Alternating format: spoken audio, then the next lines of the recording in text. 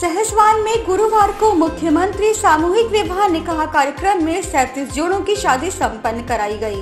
वहीं विकास खंड म्याऊ में इकतालीस जोड़े शादी के बंधन में बंधे। आपको बता दें, प्रदेश के मुख्यमंत्री योगी आदित्यनाथ जी द्वारा चलाई जा रही मुख्यमंत्री सामूहिक विवाह निकाह योजना के अंतर्गत पूरे ज़िले में शादी संपन्न करवाई गई। विवाह कार्यक्रम मंत्रोच्चारण के साथ पंडित राम किशोर शास्त्री ने संपन्न कराया, जिसमें कस्बा सहसवान के नारायण भवन में सैतीस जोड़ों की शादी संपन्न हुई इस कार्यक्रम में मौजूद उप जिलाधिकारी सहसवान लाल बहादुर सिंह, तहसीलदार दीपक चौधरी वास्तियो लालकरण की मौजूदगी में मुख्यमंत्री सामूहिक विवाह कार्यक्रम में सैतीस जोड़ों की शादी संपन्न कराई गई 35 जोड़े हिंदू समाज के एवं दो जोड़े अल्पसंख्यक समाज के शादी के बंधन में बंधे।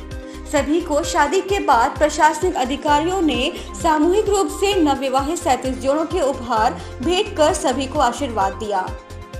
एवं उज्जवल भविष्य की कामना करते हुए बधाई दी। वहीं विकास खंड म्याऊ में मुख्यमंत्री सामूहिक विवाह में इकतालीस जोड़ों की शादी संपन्न कराई गई। सामूहिक विवाह कार्यक्रम में प्रभारी निरीक्षक अल्लाहपुर, कृष्ण गोपाल शर्मा व थाना स्टाफ ने उपस्थित रहकर पुलिस सुरक्षा व्यवस्था में इकतालीस जोड़ों की शादी संपन्न कराई। थाना स्टाफ द्वारा सामूहिक रूप से नवविवाहित इकतालीस जोड़ों को उपहार भेंट कर व विवाह की शुभकामनाएँ दी गई नवविवाहित जोड़ों के उज्जवल भविष्य की कामना करते हुए आशीर्वाद भी दिया गया।